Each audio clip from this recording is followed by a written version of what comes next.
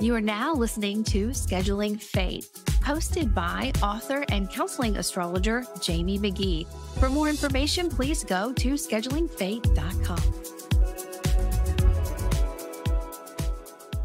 Hi there, Aquarius and Aquarius Rising. Welcome to November. All right, so your top three focuses this month are going to be your allies and your passions, things that you love without condition.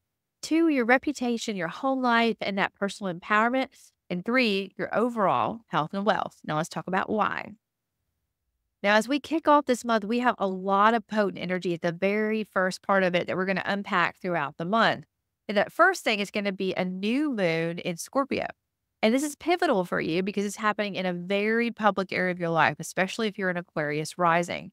This has to do with your sense of purpose, your reputation, how you're known in the world. It could have to do with authority figures or even your parents. This is a great time to set new moon intentions. Think about what you are ready to release, what you want to build. Like, this is where I'm at. These are my goals, and I'm going to move forward, and how it's going to impact every corner of your life your home work life balance, your partnerships, and you as an individual. Now, on the very next day after this new moon, Mercury is going to move into Sagittarius. Now, there's something to be mindful about here. Now, when Mercury's in Sagittarius, it's blunt, it's truth, it's expansion. It really asks you to seek new ideas and lean into your wisdom. And it's going to be an area that has to do with your allies, your friend groups, really connecting with your clients, your mindset, and communication overall. So there's going to be a lot of expansion here. But between November the 7th and November the 25th, Mercury is crossing its shadow. And what that means is when we get to the 25th of November, Mercury is going to go in retrograde. It's going to go back over everything it did between November the 7th and November the 25th. So be mindful of the alliances and what you say, what you post, what you kind of put out there, and realize that you may have to walk some things back, or you may have to review it or look at it differently or maybe this friend group that you thought was amazing, you're going to have to kind of see a different side of them and make some decisions about that as you go forward. It's always something to keep in mind. Remember, we don't get exempt from these retrogrades, but being conscious of them can definitely help us navigate through them in a co creative way. Now, on November the 3rd, we have a pretty intense energy that we're working with. It has to do with Pluto and Mars. Now, you have touched on this energy not on the exact degrees, but in the neighborhood in June of 21 and in June of 2019. And this is a tug of war, push pull energy that you're feeling on a mind and body balance, something that has to do with your habits and your ritual, but also things that have to do with that subconscious, the subliminal behind the scenes. And there's been a lot of big endings and beginnings and, and just an internal tug of war that you're working with. And if you can reflect on those past years, you're going to understand what this culminating point is trying to teach you. It's really to tap into that internal power and take action that protects what you want to nurture and care about, but in a positive way. And, and that's a heavy energy that you've been feeling towards the end of October. And we're going to unpack this because of Mars being in its shadow, kind of dancing around all the way into the spring. So this is a marathon, not a sprint. It's all about that internal power to find your external strength and how you want to partner and work with other people and how you want to partner and be present with other people. Now, on that same day, right after that opposition, Mars will move into Leo. But something to, to note about that is Mars is also in its shadow. So it's going to retrograde. It's not going to go very deep into Leo. But when Mars moves into Leo, it's going to capitalize on your partnerships, how you connect one on one with people, your clients, things that have to do with contracts. It could also be relationships, romantic relationships.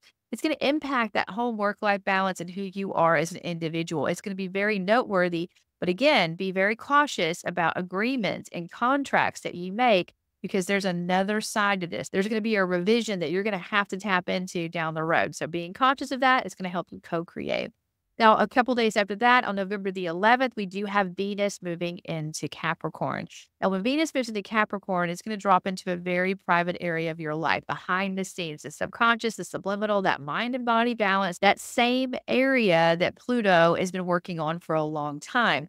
Now, in Capricorn, Venus is grounded, it's practical, but it's also looking at what makes sense. Like, am I doing something that's going to build towards something that's timeless. So you're going to really look at that ancestral level, something around your home, your legacy, even your finances, how you think and communicate within. Does this make sense? It's going to be a great time to attract. Venus is a very magnetic planet to attract the solutions that you're looking for or to attract healthy ways to end and begin things. More so ending right now, the beginnings come later. Now, as I mentioned in your top three, one of your focuses for this month is your overall health and wealth. And that that happens a couple of times. Not only do we have that new moon it has to do with, you know, your reputation, that flows into the habits, the rituals, the overall health and wealth that you have. But on the 15th, Saturn is going to move direct. And Saturn's focused on your resources, your earning power, and your skill sets that you have to build those resources. So there could have been something that you've been reviewing or even building if you were born with a retrograde Saturn since June, and now you're ready to go forward with it. And you're going to get an early indicator of what that is or an epiphany early in the month because around the 4th, I believe it is, the sun is going to be in trine with Saturn, right around that new moon energy. So pay attention to those early ideas because that's going to help you know what actions that you're going to take with Saturn when it moves forward on the 15th.